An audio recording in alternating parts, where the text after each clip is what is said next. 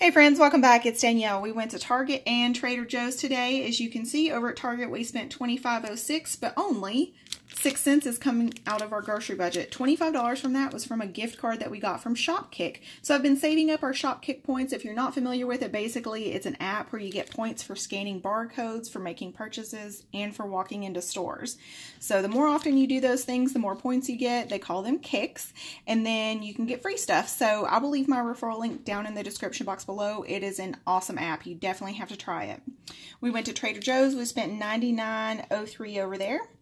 And so what we're averaging for this month, so far we've spent 277.96 of our grocery budget. We have 224.04 left for the month, and which means we are averaging $13.90 per person per day for our groceries. So, so far it's going pretty well. I'm going to show you everything that we got for our haul. We got some whole wheat flour tortillas with 4 grams of net carbs per uh, tortilla. Those were $2.99. So those are not strictly keto, but it's something that works for us and we love them. It keeps us within our carb limit and it seems to be working well. Also picked up some turkey breast. This is definitely more expensive than Walmart. Um, it's just sliced turkey breast for $3.99. Picked up some of our favorite bacon. This was some of the first uncured bacon that we ever got when we first started keto, and we love it. So it's $5.29. And we try to pick up, all of them are totally different. So we try to pick up you know, with uh, a kind of packages with lots of meat and less fat. You just never know what you're going to get from those. So they're all kind of different, but uh, 5.29 each. It's a little bit more than Walmart. Picked up some ground beef. This was definitely more than Walmart. Uh, $3.91 for that package and $3.87 for that package. So they were $3.99 per pound.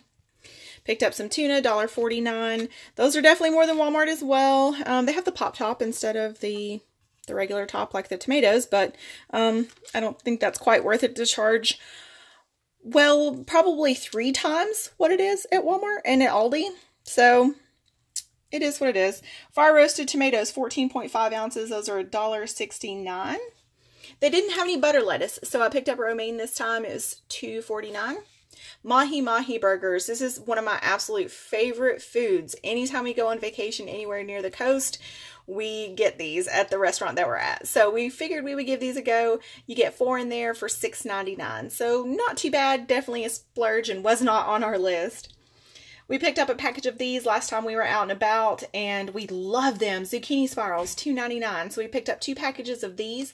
When we made the recipe, we made a Parmesan butter shrimp stir fry, basically. We didn't really add any other sauce other than like butter and Parmesan, and it was wonderful. So we're definitely going to give that a go again. Uh, two bags of shrimp, which is what we got here. Uh, one pound. So two pounds of shrimp and two packages of these would probably equal out a little bit better than just doing one package. Also picked up some shredded mozzarella, a pound for $3.79.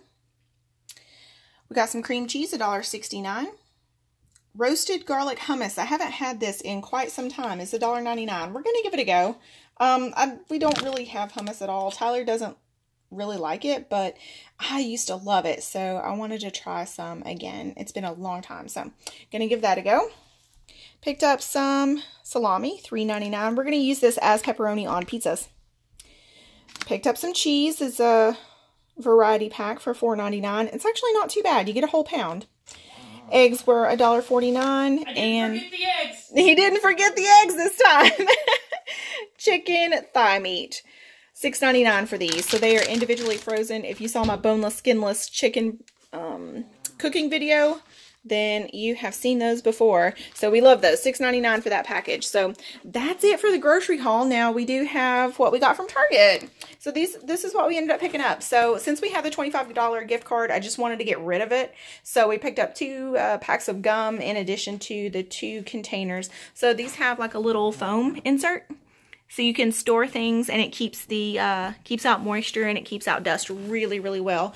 We've had a different brand, but very similar style before. Um, and I also, since we were at Target, I got a coupon for 10% off um, on this on their Cartwheel app. So definitely take advantage of deals on top of deals on top of deals to get this all of this for six cents. So yeah, check out all of the links in the description box. I've got a ton of referral links. If you guys are not taking advantage of those, definitely do so. Every time you go shopping, check out my description box because I've probably got some sort of referral link to get you a discount.